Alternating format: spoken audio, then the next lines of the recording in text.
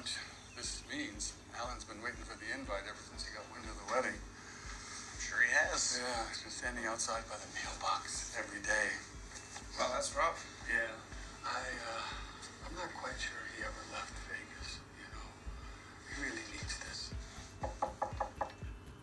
What? Sweetie, it's Papa. You have visitors. Go in slowly.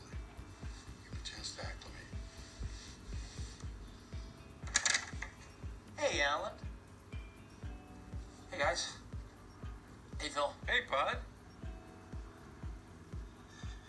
You, uh, you, uh, you, want, you guys want to come in? Sure. Yeah, absolutely. Hey. Hey. Hey, Phil. Okay, see you on the court in the hat. Pretty cool room, Alan. Oh, thanks, Phil. My dad pays my rent. Alan, what the fuck? We were supposed to delete these. You made a promise. Whoa, whoa, whoa. What the hell? I'm not cool with this at all. You can't have these. Relax, dude. Nobody ever comes in here. Total violation of trust. Mother, I'm done with my lunch. It's just sitting here. I'm sorry, honey. I'll be right up. I can't believe you guys stopped by. This is really cool. Wait a second. Al, is that Mr. Chow? Yeah, we still keep in touch. Stu.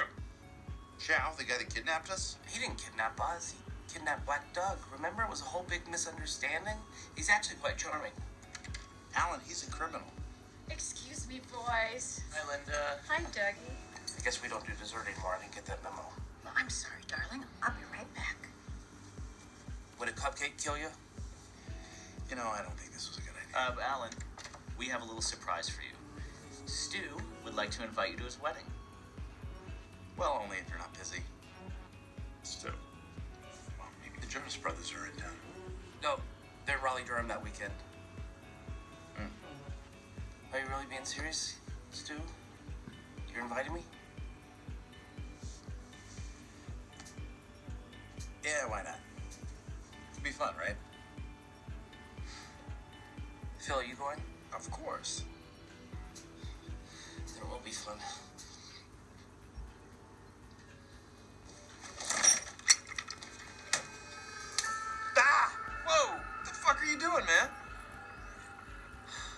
My immunizations.